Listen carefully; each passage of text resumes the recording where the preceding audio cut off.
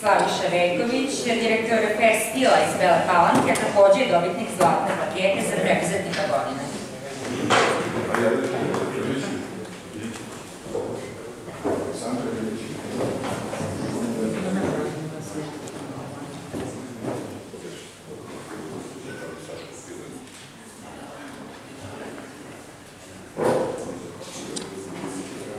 Zlatnu paketu dobije Ivan Petrović, direktor Market iz Bele Palanke.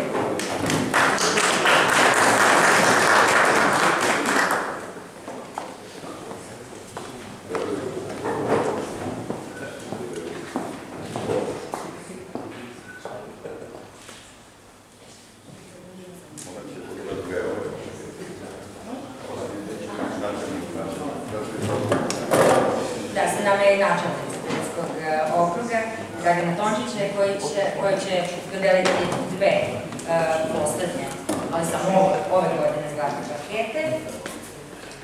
Milorad Stojanović je direktor restovarišta Stojanović Pirot, također dobija zlatnu paketu, međutim on iz opravdanih razloga nije prisutan, tako da će paketu dobiti nakon.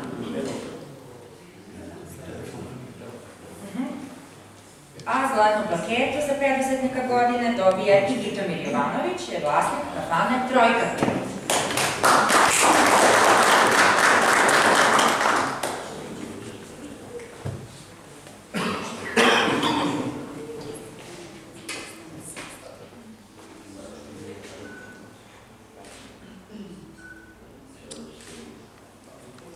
Načelnica će uručiti plaketu i Aleksandru Ćiriću, uredniku Pirotskih vesti, a to je Zlatno pero u novinarstvu kategorija.